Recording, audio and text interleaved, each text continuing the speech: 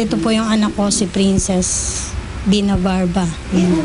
Nung 2006, nagkasakit po yung anak ko. Hindi po ma-diagnose ng mga doktor kung ano pong sakit ng anak ko. Marami na po akong pinagdalang ospital sa mga private doctor po tapos sa Mateo General Hospital, sa Provincial Hospital ng Malolos at ang huli po ay sa PGH.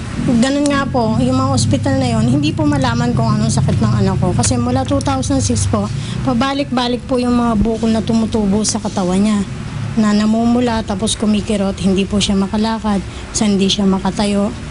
Ito po yung mga record niya nung mula po nung 2006 hanggang itong 2010. Kung ano-ano lang pong hinuhula nilang sakit. Minsan po, nung una, rayo, rayuma raw. Tapos sumunod po, rheumatic fever. Tapos eto pong huli, sa PGH po, yung Behçet's disease daw po. Binigyan ho ako ng mga antibiotic na kung ano-ano. Hindi rin naman ho nakakagaling. Paba, paulit-ulit hong pabalik-balik. Tapos hanggang dumating po yung time na itong 2009, marami na rin pong mga albularyo yung pinagdalhan ko yung mga anak ko. Wala rin naman pong malaman sila. Iba-iba rin po ang findings. Hindi ko po alam kung saan ko dadalhin talaga para lang gumaling yung anak ko. Nag-aaral po kasi sa, sa BSU, third year college po. Hindi ko na po pinapasok kasi po hindi ho talaga niya kayang lumakad. Wala naman po naman kami masyadong pinagkakakitaan. Tatlo po yung anak ko. Kaya nung dito po kasi ako nagtatrabaho kay Mami Litz, nabanggit po ni Mami Litz na merong, meron siyang alam na gamot tungkol sa mga herbal na magkakagaling sa anak ko. Hindi po ako nagdalawang isip, dinala ko po dito yung anak ko. Tapos, sa totoo lang po, wala kaming kapera-pera noon. Sabi po sa akin, ito, subukan mo. Sa one week po na pag-inom ng anak ko, Nang? na, ng Kings, nakita ko po na may improvement, nakikita ko po sa anak ko. Kaya lang po, talagang sa una po, masakit, buong katawan niya sumasakit, sa, sa pag-ihi, sa pagdumi, at saka minsan po, nahihilo siya. Talagang umiyak po siya sa akin hanggang hindi kami makatulog gabi-gabi. Mm, Dati po, talagang ano, parang feeling ko po nangihina ako tapos ano, yung utak ko parang litong-lito. Tapos kung ano-ano nga po yung tumutubo, yan. Yung mga bakas pong yan, yan po yung tumutubo na simula po parang tagyawat, tapos lalawak siya. Pupulang-pula po. Tapos kung saan po siya tumubo, dun po sasakit. Tapos kapag sa paa naman po, di po talaga ako makalakad. Kung kapag gusto kong tumayo, hindi ko po magawa. Gagawin ko po, gagapang po. Ano po, dati po kasi dami ko na po ininom na antibiotic, mga gamot, tas may mga injection pa po nung nasa ospital ako.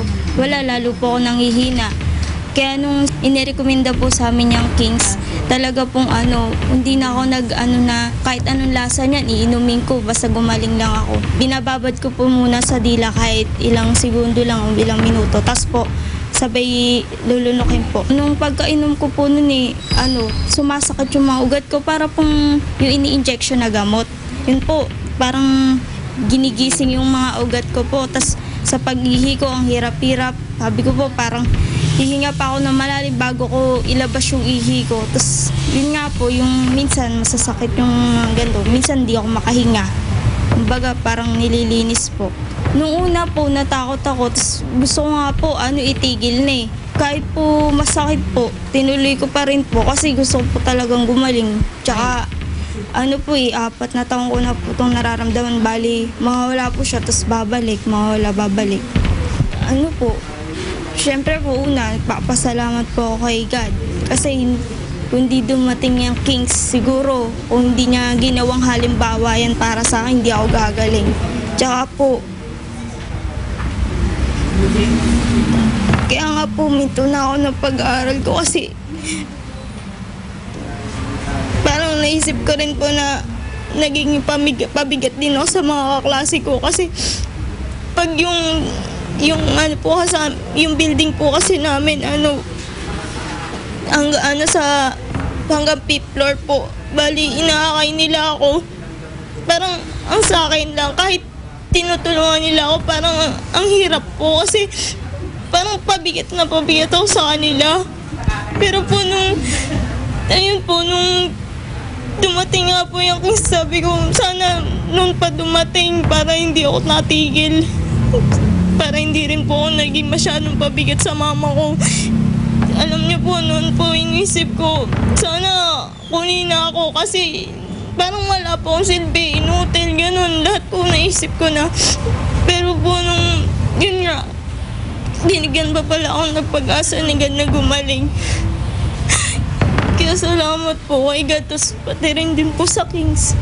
Siyempre po, masayang masaya ako. Isa pa, sabi ko nga po, kahit kahit ka ako ganito lang ang trabaho ko, nakikita ko nung ma- maayos yung anak ko, walang mararamdaman, okay naman po.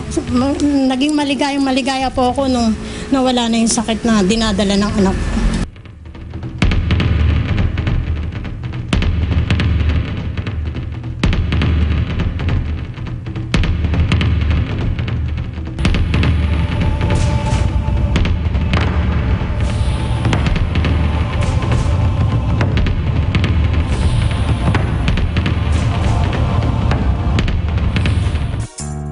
Ayan mga kaibigan, liwanagin ho natin, ano? Yun ho mga katanungan ninyo, wag sa amin. Diretso ho doon sa, sa, doon sa tanggapan o kay Ray Herrera sa mga numbers na yon.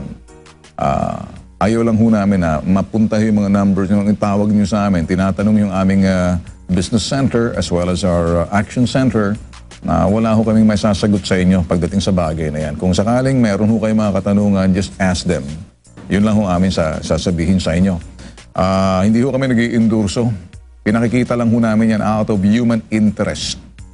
Naging interesado ho kami kasi unang-una, tiningnan ho namin yung bata to see kung nagsasabi ho siya ng totoo. Yun hong expression ho ng bata na nandoon ho sa kanilang bahay is the seeing sincerity. Whatever it is, so, uh, yung nga sinasabi namin sa human interest ho namin, lahat ho na bagay, pinakikita ho namin. Kaya lang, mag-iingat ho kayo sa mga herbal-herbal o anong mga medisina o anumang mga produktong nilalako sa inyo. Dahil sumatutal, pagdating ho sa mga herbal o anumang mga bagay, uh, kapareho niyan, hindi ho medisina yan. Ah, yan ho'y mga food supplement lamang with no approved therapeutic claim na sinasabi ho ng DOH. Ganon din ho ng BIFAD. At kami ho'y nagsasabi rin. May mga bagay na maaari pwede niyong subukan, pero kung kayo ho'y under medication na binigyan ng doktor sa inyo, eh, respetuhin niyo, sundin niyo ho. Kung sakaling kayo ho'y magdidesisyon tungkol dyan, itanong niyo ho, ikonsulta niyo muna dun sa mga doktor ninyo. Kaya malinaw ho tayo. Kung sakali ho na talagang hindi ho kayo mapigilan, may nakausap po ako ng doktor, sabi ko, paano yung dok na, eto, gusto pa rin kahit na dinidiscourage nyo. Eh, nasa sa kanila yun. Importante, wag lang tanggalin yung nire-require namin na medisina o yung prescribed namin. Kung gusto lang uminom yung herbal na yan, eh, consider it as food supplement or vitamins lamang. Pero not as medication. Malinaw ho tayo rin, ha? Hindi ho namin sinasubstitute ang anumang bagay na pag sinabing herbal, herbal ho yan. But we don't say herbal medicine. We just say herbal supplement. Linawin ho natin. Yun ho pamantayan ni Bitag. Hindi ho kasi ako endorser. Tinutuwid lang ho namin yung mga bagay na dapat malaman ninyo. Kaya mag-iingat ho kayo. Lalo-lalo na dun sa mga produktong binibili ninyo. Baka yan ay galing China, nang galing hindi nyo alam. Tinitimpla sa ilalim ng puno. Tapos Mariosep. Tapos mamaya may naka mga ipis pa nag gumapang dyan tulad ng panidarya na nahuli namin. Lahat ho kasi pinapasukan ho ng bitag pag inabot sa amin ng pi- pinasumbong ho sa amin ng reklamo. So make sure. So yun lang hong aming sinasabi. Hmm?